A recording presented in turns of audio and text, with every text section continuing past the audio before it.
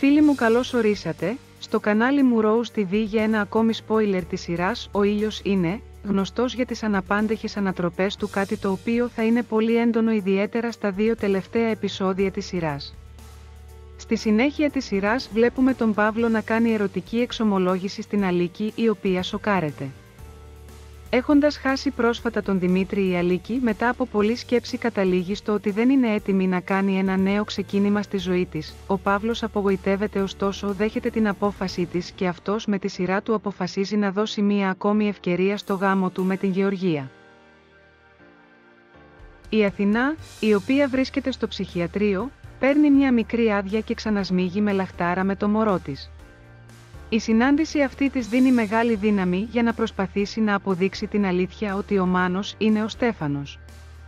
Ταυτόχρονα, ο Στέφανος εξαναγκάζει την Βίβια να τον βοηθήσει στα σχεδιά του. Παρότι εκείνη δεν θέλει και τον φοβάται. Την ίδια στιγμή όμως η Αθηνά αποφασίζει να αναλάβει δράση και να σκοτώσει τον Στέφανο. Η Αθηνά μεταφέρεται στις φυλακές. Ο Παύλος προσπαθεί να πείσει τον Χρήστο ότι η Αθηνά λέει την αλήθεια και έχει δίκιο. Ο Χρήστος τον πιστεύει και οι δυο τους ψάχνουν αποδεικτικά στοιχεία. Η Ελένη μαθαίνει κάτι συγκλονιστικό από τον Ανδρέα κάτι το οποίο δεν μπορεί να πιστέψει. Την ίδια ώρα η Λίδα δέχεται νέα επίθεση από το δολοφόνο και γλιτώνει τελευταία στιγμή από τύχη.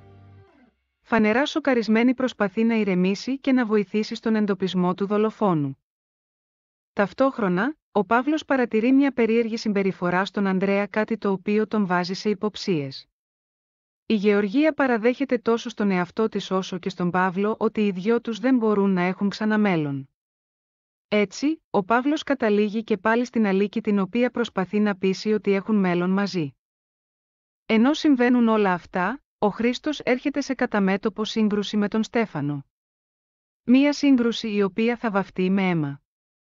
Αν σας αρέσουν τα βίντεο μου μην ξεχνάτε, like, εγγραφή και κλικ στο καμπανάκι για να μην χάνετε τα βίντεο.